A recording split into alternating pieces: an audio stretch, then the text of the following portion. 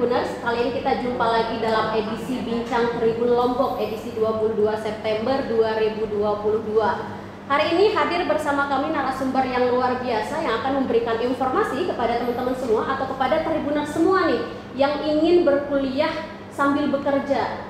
Nah, kita langsung saja disambut narasumber kita di sini bersama saya ada Bapak Rektor Universitas Terbuka yaitu Bapak Profesor Ojat Darojat dan Direktur Universitas Terbuka Mataram Bapak Raden Sudarwo. Selamat siang Pak. Selamat siang. Mbak. Selamat siang. Beniam. Nah ini kan kabar-kabarnya ini Universitas Terbuka ini akan segera berganti status menjadi Universitas berbadan hukum. Gimana tuh Pak? Ya, alhamdulillah itu merupakan satu tekad kita warga Sivitas Akademi UT untuk beralih status dari PTN PKBLU menjadi PTNBH Perguruan Tinggi Negeri Badan Hukum. Eh, langkah itu kita lakukan sebagai langkah strategis dalam rangka pengembangan UT ke depan. Saya katakan sebagai langkah strategis karena dengan beralih status menjadi PTNBH maka UT bisa lebih lincah, lebih agile dalam merespon setiap perubahan, setiap dinamika yang terus berkembang di tengah-tengah masyarakat. Berarti dengan pergantian status ini bisa dikatakan akan meningkatkan pelayanan kepada eh, calon mahasiswa mungkin yang akan masuk ke UT Pak.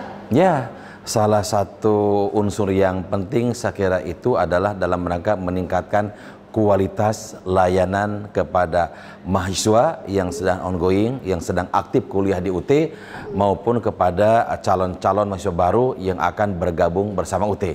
Tentu itu merupakan apa eh, titik tumpu fulcrum bagi UT bagaimana caranya supaya UT eh, menjadi pilihan bagi mereka eh, yang ingin meneruskan pendidikan ke jenjang perguruan tinggi. Kalau boleh tahu Pak ketika ini UT akan eh, menjadi berubah statusnya gitu? Ya, keunggulan atau kelebihan ketika kita beralih status dari PTN PKBLU menjadi eh, PTNBH yang tadi saya katakan di mana UT akan memiliki otonomi yang lebih luas dalam berbagai aspek, khususnya yang terkait dengan otonomi yang lebih luas dalam bidang akademik, otoritas dalam bidang akademik kita lebih luas di mana UT bisa membuka dan menutup program studi sesuai dengan kebutuhan masyarakat tanpa harus mengajukan atau menunggu izin dari Kementerian Teknis, Kementerian Pendidikan, Kebudayaan, Riset dan Teknologi. Nah, dengan demikian UT bisa merespon setiap kebutuhan dari masyarakat, misalnya seperti di sini di Nusa Tenggara Barat, ketika masyarakat di sini atau pemerintah di sini membutuhkan program studi tertentu, maka UT bisa secepat merespon kebutuhan tersebut, bisa membuka uh, tanpa harus menunggu perizinan dari pihak kementerian. Tapi tentu kita dalam membuka program-program studi baru yang dibutuhkan tersebut, kita akan sangat dengan hati-hati mempertimbangkan uh, kapasitas uh, dan berbagai aspek pendukung lainnya sehingga nanti pembukaan program studi baru itu tetap dalam koridor quality assurance atau sistem penjaminan mutu yang sudah kita terapkan selama ini. Oke, kita beralih ke Bapak Direktur nih kan. Eh, ini akan segera beralih status menjadi Universitas Negeri Berbadan Hukum. Gimana Ya. kesiapan UT Mataram nih Pak menyambut itu, Pak Direktur? Ya. Boleh dijelaskan? Prinsipnya kami selalu siap menjalankan instruksi dari pimpinan di pusat. Artinya dengan Pak Rektor sudah mengatakan kami selalu siap apa pun kesiapan apa yang harus kita lakukan dengan teman-teman semuanya kita sudah siap untuk melaksanakan uh, PTNB tersebut, Mbak. Oke, boleh kita headline. Ini Ya. UUT siap menjadi unggul ketika Ya. berubah menjadi Ya. statusnya. Ya.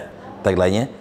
Eh, ya dengan perubahan UT menjadi PTNB, insya Allah eh, mandat utama UT atau tagline UT making higher education open to all itu akan semakin eh, bisa dirasakan dan direalisasikan di bagi seluruh anak bangsa di Indonesia. Oke. Hmm. Oke Tribuners dan seperti yang terlihat mungkin di layar HP Anda mungkin Anda sekarang sedang menonton ini di layar HP kita sedang berada di ruang pelayanan Universitas Terbuka Mataram dan seperti yang terlihat di belakang kami ini sedang ada proses pelayanan gitu. Jadi ketika teman-teman ingin berkunjung akan langsung dilayani di Universitas Terbuka dengan ruangan yang keren abis. Nanti kita akan keliling-keliling uh, melihat bagaimana uh, Universitas Terbuka gedung baru ya Gedung Baru ya Pak Prof. Betul, ya? betul. Nanti kita akan keliling-keliling.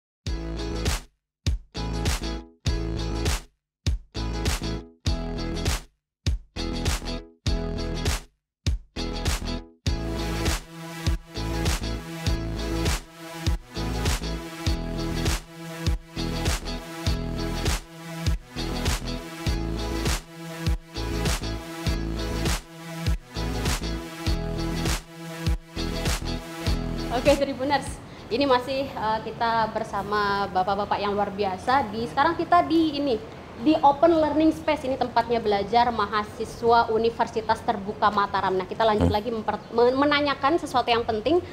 Ketika berubah statusnya menjadi badan hukum, apakah ada uh, ini Pak Prof? Perbedaan pengelolaan dari segi keuangan, dari sumber daya, kemudian dari pelayanan. Oh iya. Uh, terima kasih ini pertanyaan yang sangat bagus Mbak. Okay. Dengan beralih status menjadi PTNBH maka ada uh, reformasi tata kelola universitas bukan hanya tadi yang saya katakan terkait dengan bidang akademik, uh tapi juga terkait dengan tata kelola universitasnya uh. uh, yang menyangkut masalah pengelolaan anggaran, okay. uh, terus juga pengelolaan kegiatan belajar mengajar dan sebagainya, mm. di mana uh, kita berupaya bagaimana caranya supaya UT uh, sebagai satu-satunya PTN per, uh, apa namanya uh, yang mengimplementasikan belajar jarak jauh bisa uh, meningkatkan kualitas layanan yang lebih baik kepada para mahasiswanya sehingga nanti lulusan uh, UT itu uh, memiliki uh, kompetensi yang bagus dan bisa bersaing baik dalam skala nasional maupun global. Nah, misalnya yang terkait dengan berbagai aspek layanan mahasiswa, maka tentu kegiatan-kegiatan yang terkait dengan apa learner support services gitu akan berikan banyak kepada mereka juga yang terkait dengan tadi pengelolaan anggaran bagaimana kita mengalokasikan anggaran yang memang akan kita curahkan untuk mendukung kesuksesan belajar mahasiswa di UT. Ini penting supaya nanti apa namanya uh, para mahasiswa tidak mengalami kendala yang signifikan ketika mereka kuliah di tempat kami seperti itu. Oke. Iya.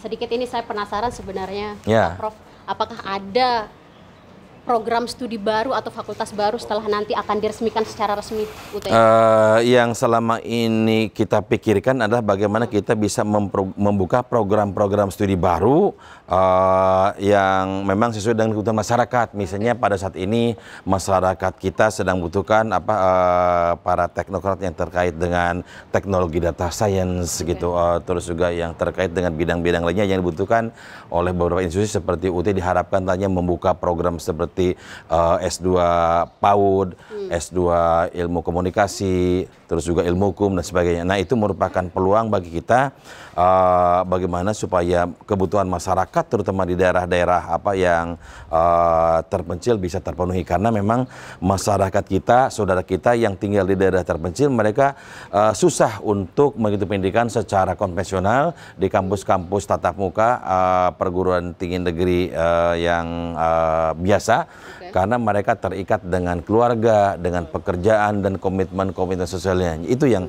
akan kita buka. Dan tentu untuk kepentingan tersebut kita sangat membutuhkan uh, kolaborasi, hmm. sinergi dengan perguruan tinggi yang sudah ada di uh, apa daerahnya masing-masing sehingga nanti uh, resource sharing bisa kita lakukan dengan perguruan tinggi setempat. Hmm. Ya, seperti itu. Apa tidak ada gebrakan baru membuka program studi yang berbeda dari universitas lainnya sehingga ini UT ini menjadi unggul dan menjadi ter hmm. termark lah oleh ya. masyarakat. Yeah. Uh, kalau uh, terkait dengan program studi baru gebrakan itu kan kita tentu akan menyesuaikan dan kebutuhan pasar ya. Hmm. Uh, karena kita itu sekarang dalam era uh, saat ini gitu kan kita bukan supply demand tetapi adalah uh, demand driven. Hmm. Jadi tergantung kepada masyarakatnya di mana. Nah itu oleh kita dikaji sedemikian rupa uh, sehingga nanti ketika kita membuka program itu benar-benar pasarnya ada, segmen pasarnya ada atau target pasarnya ada seperti itu. Dan yang akan kita lakukan lakukan di sini justru bukan apa uh, yang ternyata itu, tetapi bagaimana caranya supaya proses pembelajaran yang kita lakukan itu gitu kan dengan mengintegrasikan uh, kemajuan yang dicapai dalam bidang teknologi informasi komunikasi supaya nanti kegiatan belajarnya itu berbeda seperti yang disajikan oleh perguruan tinggi tatap muka seperti sekarang hmm. gitu. Nah, itu merupakan terus penting misalnya penggunaan apa chatbot gitu kan dalam penyelenggaraan pembelajaran, pengintegrasian metaverse dan sebagainya sehingga nanti memang proses pembelajaran kita berkualitas dan mahasiswa memiliki pengalaman baru yang tidak pernah dimiliki selama ini termasuk oleh uh, mahasiswa-mahasiswa di konvensional seperti itu. Itu gitu. keunggulan dari universitas terbuka. Iya, kira-kira seperti Pak itu. Direktur gimana yep. nih menanggapi ini? Apa kira-kira yang menjadi kebutuhan terutama masyarakat NTB yang bersekolah di atau menuntut ilmu di Universitas Terbuka Mataram ini? Ya, saya rasa apa yang tadi disampaikan oleh Pak Rektor sudah jelas bahwa kami memang akan melayani mahasiswa calon mahasiswa kami yang ada di pelosok daerah Mbak. Hmm. Seperti di Dompu, di Sapi sana kan kalau kita temukan nggak bisa Mbak lah. Kita udah siap untuk melayani mereka selama mereka ingin bergabung dengan UT kami udah siap sesuai dengan program studi yang ada. Bahkan kita juga menerima mahasiswa yang RPL alih kredit kita juga siapkan hmm. semuanya sudah. Gitu. Oke. Oke, kita di sini ada sesuatu yang menarik di belakang saya, bacanya Taman Diskusi Mahasiswa. Mungkin kita bisa ngobrol di dalam, Pak, boleh? Boleh. Masuk. Ya. Silakan dalam, Mbak. Oke, okay. okay, baik Mari baik. Tribunat Siap. kita mencoba masuk. Wow. Ini ruangannya bagus sekali Pak, nyaman. Ada free wifi.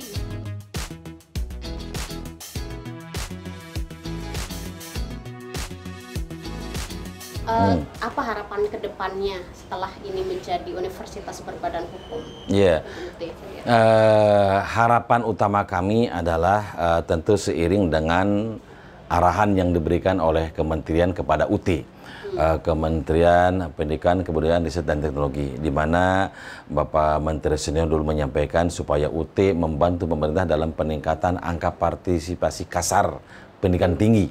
Indonesia pada saat ini baru mencapai 31 persen dan ketinggalan jauh dibandingkan dengan Malaysia, Thailand, Singapura dan seterusnya. Nah, uh, UT diharapkan bisa meningkatkan jumlah angka partisipasi menjadi satu juta mahasiswa Gitu. Sekarang pada saat ini sedang ada 415 ribu mahasiswa di seluruh Indonesia dan di 50 negara yang sedang aktif mengikuti kuliah di UT. Nah, jadi diharapan uh, kami ke depan adalah target yang dekat ini bagaimana UT bisa meningkatkan jumlah mahasiswa. Nah, untuk ke kepentingan tersebut maka berbagai layanan kita berikan, kita tingkatkan, termasuk juga ruang-ruang publik, eh, ruang-ruang uh, diskusi antara mahasiswa dengan mahasiswa yang lain, juga dengan tutor kami, dengan dosen kami, supaya nanti mereka punya kesempatan untuk berinteraksi, untuk berkomunikasi, uh, jika mereka ada masalah yang ingin disampaikan, apakah itu yang terkait dengan konten uh, mata kuliah yang sedang mereka pelajari atau juga dengan hal-hal yang te sangat teknis yang perlu bantuan dari kami dari UT.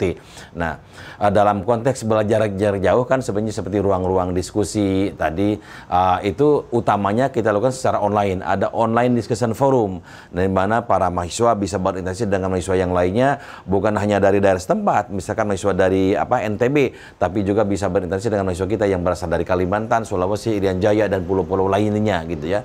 Nah, kita sediakan dalam online discussion forum secara online gitu ya, menggunakan apa namanya uh, platform uh, asinkronus. Nah, tetapi di samping itu kan tidak semua mahasiswa gitu kan apa namanya uh, apa mendapat kesempatan secara online. Maka ada mahasiswa yang ingin bertemu dengan mahasiswa lainnya, dia datang ke kantor cabang UT di daerah ke UPBJ seperti ini, UPBJ UT Mataram atau UT Mataram. Maka di sini juga kita menyediakan taman pintar di setiap lokasi UPJJ Taman Pintar di mana bagi mahasiswa yang datang ke kantor UPJJ menghadiri pelayanan mereka bisa berkumpul seperti di ruang-ruang diskusi seperti ini. Hmm.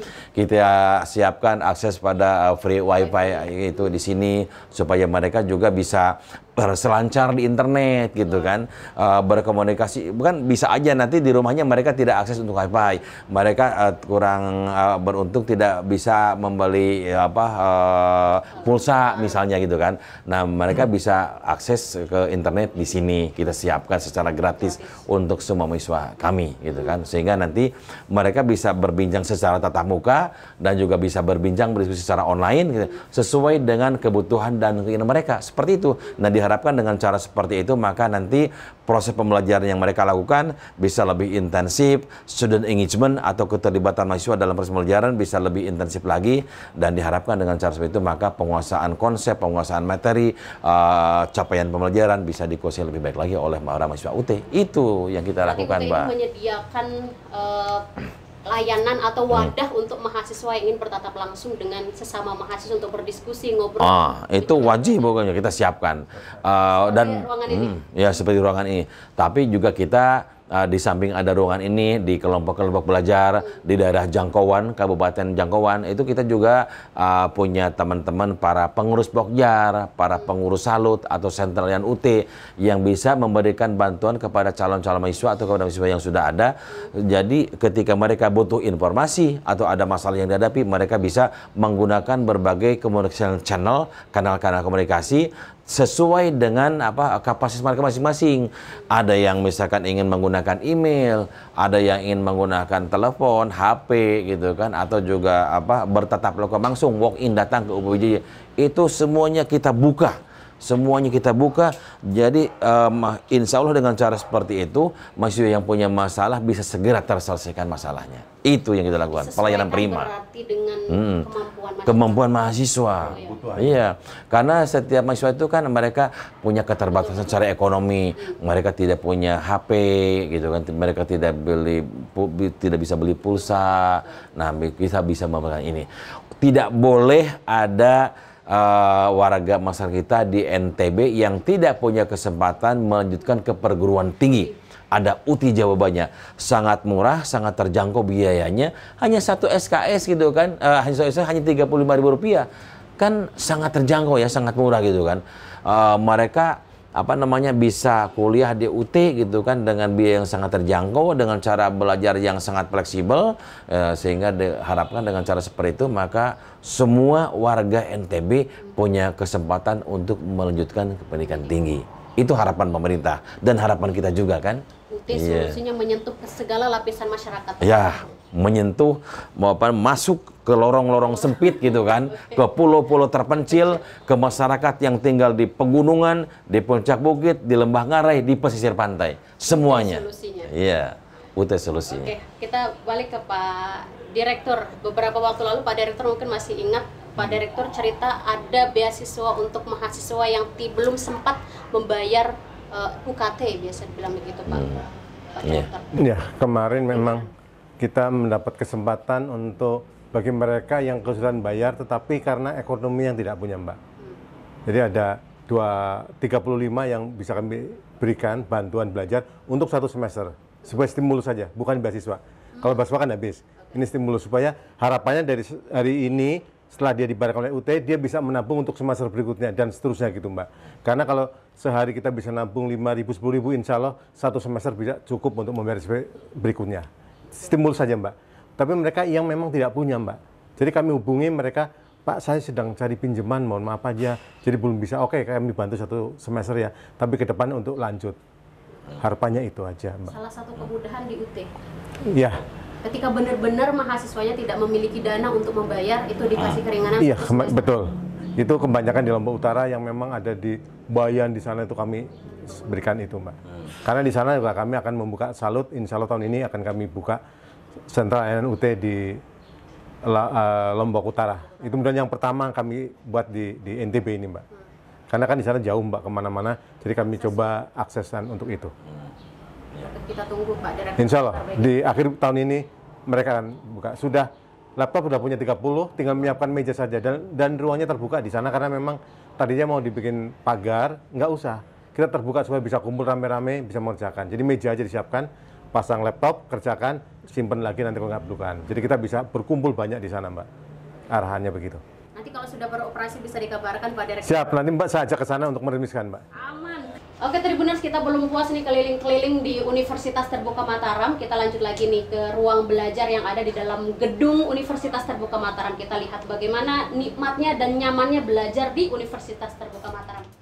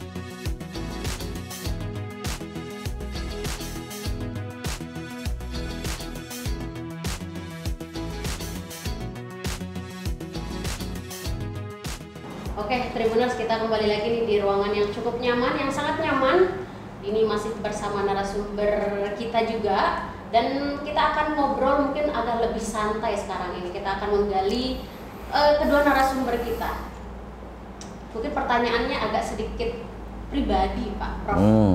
Pak Direktur. Kemudian menjadi prof, menjadi rektor universitas terbuka, pengalaman belajar mungkin dari awal kemudian menjadi guru besar seperti sekarang. Terima kasih Mbak Niam. Uh, ini pertanyaan yang mengingatkan saya pada sejarah perjalanan karir dan hidup saya. Okay. Yang sangat panjang tapi saya mungkin menyampaikan secara umum saja. Hmm. Ya bahwa saya adalah seorang apa namanya anak uh, desa lahir di kampung terpencil gitu ya dari keluarga yang sangat-sangat sederhana. Ibu saya adalah buruh tani di kampung terus juga orang tua saya bapak saya adalah seorang kuli kayu di Jakarta yang pulang ke kampung kadang dua bulan sekali tiga bulan sekali gitu kan. Uh, karena apa saya hidup di tengah-tengah uh, himpitan ekonomi saya bukan dari keluarga yang kaya gitu kan yang mampu ya berkecukupan. Uh, apa di suatu kampung di desa di Bojongwa kecamatan Buah Dua Kabupaten Sumedang itu kira-kira 60 km dari Bandung ke arah utara. Perbatasan antara uh, Jawa apa uh, Jawa Barat itu uh, ada Kabupaten Sumedang dengan Kabupaten Indramayu. Nah saya dia dari tengah-tengah situ. Jadi sangat terpencil, ketinggalan. Nah tapi alhamdulillah mendapatkan kesempatan belajar uh, ke perguruan tinggi. Memang walaupun orang tua saya orang tua yang susah gitu kan, tapi dia punya itikad yang kuat bagaimana cara supaya anaknya bisa sekolah gitu walaupun dari hasil kulit kayu gitu kan bikin meja kursi gitu kan. Nah tapi uh, punya niat yang sangat kuat dan saya juga apa namanya membangun komitmen bersama keluarga orang tua. Walaupun saya tidak punya banyak hal tetapi juga saya uh, insya Allah selalu apa namanya uh, bersama sama dengan orang tua. Um, sekolah sampai ke SMA dan perguruan tinggi. Dan uh, alhamdulillah dianugerahi juga mendapatkan kesempatan uh, beasiswa sejak sekolah di SMA, di perguruan tinggi dulu juga gitu uh, dan itu mengantarkan bahkan sampai uh, S2, S3 mendapat biaya dari Bank Dunia semuanya. Dan akhirnya saya berkarir di UT uh, mendapat kesempatan sebagai PNS di UT dan mendapatkan amanah dari teman-teman dari mulai sebagai ketua program studi, ketua jurusan, terus juga wakil dekan bidang kemahasiswaan di Fakultas Keguruan dan Pendidikan ya. Uh, terus juga diberi amanah oleh rektor pada situ sebagai apa ya kepala cabang kepala UT di daerah Bogor itu di Jawa Barat terus juga sebagai kepala pusat penjaminan kualitas di UT berikutnya terakhir sebagai apa uh, kepala lembaga LP Bausi pada saat itu. Sekarang namanya LPPMP dan terakhir pada pertengahan Juli 2017 diberi amanah sebagai rektor UT itu ya perjalanan yang sangat panjang. Dan alhamdulillah gitu kan dari jabatan pengusaha juga saya uh, mendapat kesempatan untuk meraih apa namanya jabatan pengusaha tertinggi sebagai dosen itu sebagai guru besar sebagai profesor. Itu anugerah karena doa dan dukungan dari kedua orang tua saya sebenarnya. Mungkin yeah. ada yang dari Tribuners yang situasinya sama mungkin hmm. seperti Prof waktu kecil mungkin hmm. apa yang membuat Prof sehingga belajar sebegitu kerasnya, sebegitu termotivasinya belajar hingga menjadi seperti sekarang. Hmm. Pesan untuk Tribuners. Iya, uh, belajar dari pengalaman uh, keprihatinan itu ya. Saya itu apa namanya? Uh, selalu teringat pada suatu hadis yang saya baca. Hadis riwayat Muji Anasai uh, yang dulu baca waktu saya kecil yang mengingatkan saya bahwa keutamaan orang yang berilmu daripada orang yang beribadah laksana keutamaan bulan purnama di atas rumah bintang. Artinya kita harus terus berusaha mencari ilmu dalam setiap tahapan kehidupan kita untuk menjadi sukses sukses dalam kehidupan di dunia. Dan juga yang paling penting adalah uh, sukses kita bisa baik mempersiapkan diri untuk hidup uh, pada tahapan berikutnya menghadap Sang Pencipta dengan ilmu-ilmu yang kita miliki. Kita bisa beribadah karena saya punya keyakinan kita bisa menaikkan ibadah dengan baik. Apakah ibadah mahdoh, gairah mahdoh gitu kan. Uh, kualitasnya itu akan ditunjukkan dengan kebanyakan ilmu yang kita miliki. Ibadah tanpa ilmu saya itu suatu hal yang kurang tepat karena ketika misalnya ketika kita menjalankan ibadah puasa atau ibadah sholat lima waktu dalam sehari-hari gitu kan tanpa punya bekal ilmu yang cukup di sana maka uh, pasti ibadah-ibadah yang kita laksanakan menjadi kurang berkualitas. Nah, oleh itu maka saya punya keyakinan bahwa jangan pernah berhenti untuk terus menuntut ilmu, mencari ilmu dengan siapa pun, kapan pun, dan di mana pun. Itu. Kesempatan untuk hmm. menjadi sukses terbuka lebar untuk siapa pun dalam kondisi apa pun. Betul. Prof membuktikan itu dengan kondisi yang dulu seperti yang diceritakan serba keterbatasan ya dalam keadaan yeah. Ekonomi bisa menjadi nah, guru besar seperti nah, sekarang. Dan ada satu hal mbak di situ yang saya petik dari pelajaran bahwa uh, memang kita harus mengoptim mengoptimalkan ikhtiar ya. Tetapi yang lebih penting daripada itu adalah terutama doa dan ridho dari kedua orang tua kita. Setiap kita akan melangkah pada hal-hal yang sangat strategis, sangat penting dalam setiap tahapan kedua kita, kita harus selalu meminta dari ridhonya. Doanya di kedua orang tua itu sangat penting. Gitu. Hmm. Ridho orang tua sangat penting. Itu pesan dari Profesor Ojat Darajat. Siap. Penasaran Pak Prof, hmm. hobi seorang profesor sebenarnya apa Pak? kalau belajar, ya, membaca. Saya kalau belajar baca itu sudah merupakan bagian dari uh, budaya yang saya bangun sejak kecil gitu ya. Karena uh, salah satu uh, kunci pemuda ibu dengan banyak belajar membaca bukan hanya yang apa ada di dalam buku teks tapi juga yang tercipta di alam semesta gitu ya belajar itu. Nah. Uh, Uh, dalam pandangan saya tentu apa namanya kita itu dalam uh, meraih kesuksesan atau keinginan yang kita harapkan itu uh, menurut kita kita tidak hanya cukup dengan cerdas dalam kehidupan ini untuk sukses hidup di tengah-tengah masyarakat maka kita juga harus banyak bergaul punya network yang bagus, senang memiliki banyak teman, gitu kan. Juga pandai memanage waktu, itu sangat penting. Nah, uh, dengan cara seperti itu, karena kita juga banyak melihat banyak orang yang cerdas, orang yang bagus gitu kan, punya brilian, tetapi mereka tidak sukses. Banyak lulusan-lulusan dari perguruan tinggi yang IPK-nya bagus-bagus, secara akademik oke okay, gitu kan, tapi mereka gagal hidup sukses di tengah-tengah masyarakat. Nah, oleh karena itu menjadi sangat penting bagi kita bukan hanya ketika teman-teman usia UT kuliah, bukan hanya pintar secara akademis, tetapi juga uh, pintar uh, apa namanya memiliki kemampuan sosial uh, question yang baik, bagaimana menempatkan diri dalam pergaulan sosial supaya keberadaan kita di tengah-tengah masyarakat itu diterima oleh mereka dan mempunyai manfaat dan keberkahan bagi lingkungan di sekeliling kita. Ya, seperti itu. Akademik dan sosial berimbang. Betul, itu sangat penting ya. Hmm. Betul. Hmm. pertanyaan sih belum terjawab Iya, yang mana tuh? Hobinya apa? Oh iya hobi. Saya lupa hobi ya. Nah, hobi yang saya sekarang sedang jalan itu saya olahraga ya. Olahraga. Olahraga. Nah, olahraga merupakan bagian yang harus uh, apa uh, kita jalani secara rutin karena uh, untuk memiliki apa namanya uh, raga badan yang sehat juga harus uh, seimbang antara kegiatan-kegiatan apa namanya uh, psikologis dengan kegiatan olahraga, kebugaran. Jadi saya sangat senang itu sekarang itu uh, tenis lapangan. Tenis lapangan merupakan hobi saya dan saya lakukan di kantor. Kebetulan juga ada saran dan persarannya ya itu yang sekarang saya yang saya lakukan. Di samping juga ada kegiatan-kegiatan hobi saya yang lain.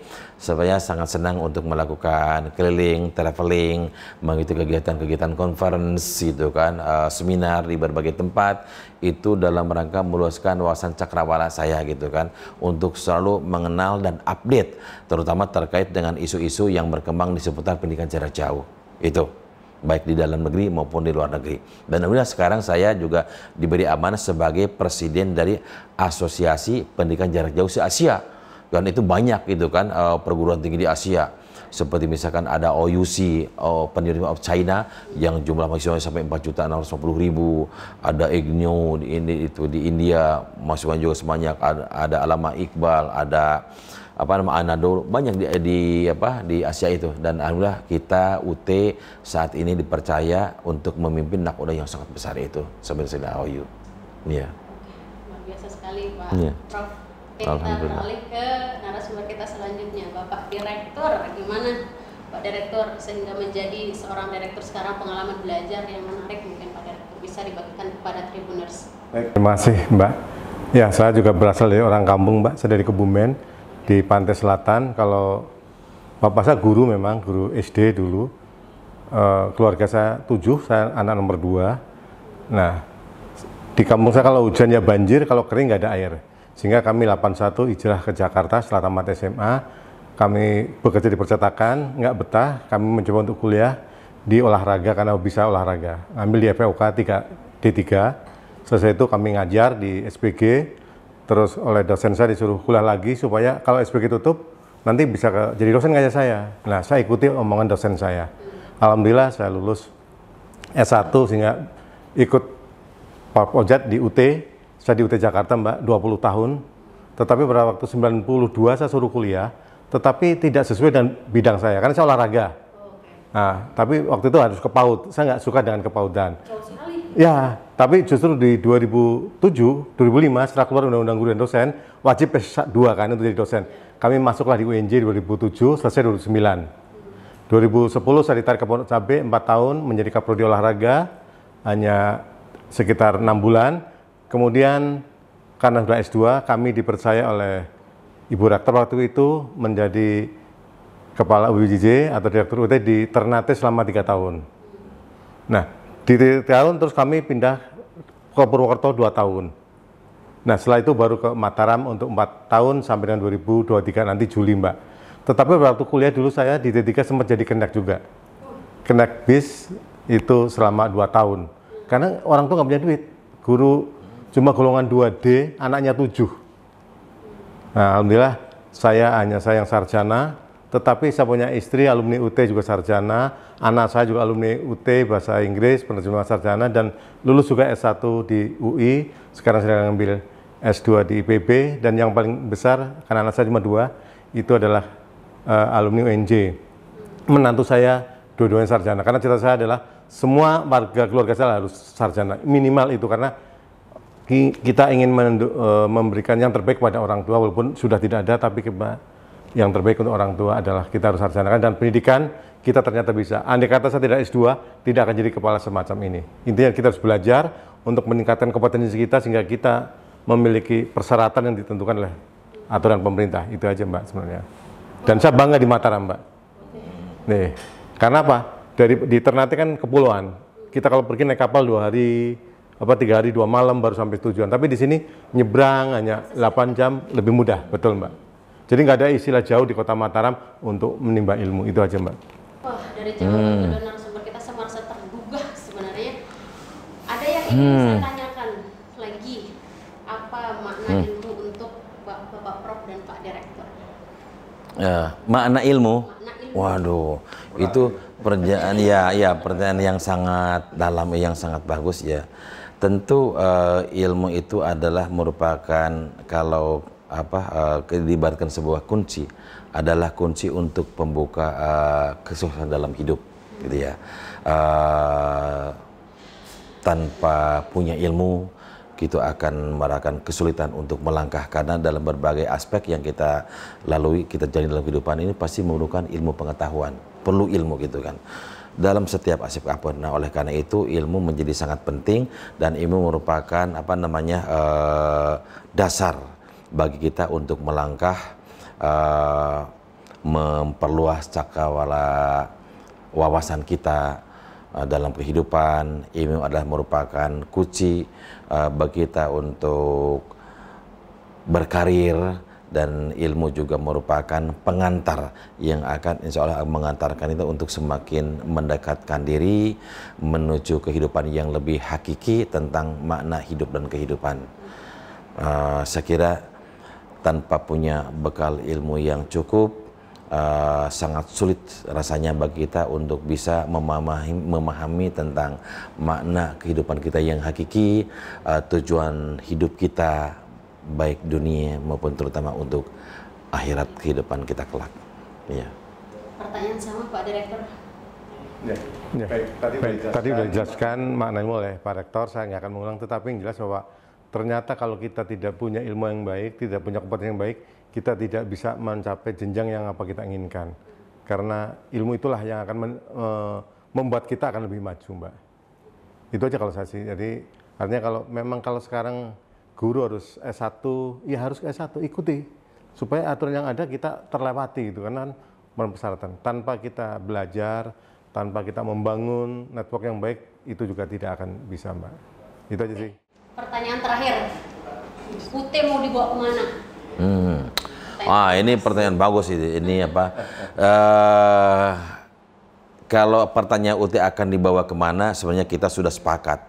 Uh, eh, UT telah menggali informasi dengan seluruh stakeholder ya, baik dari pihak pemerintahan, teman-teman di UT, para mahasiswa, alumni, anggota masyarakat, dan seluruh pemangku kepentingan.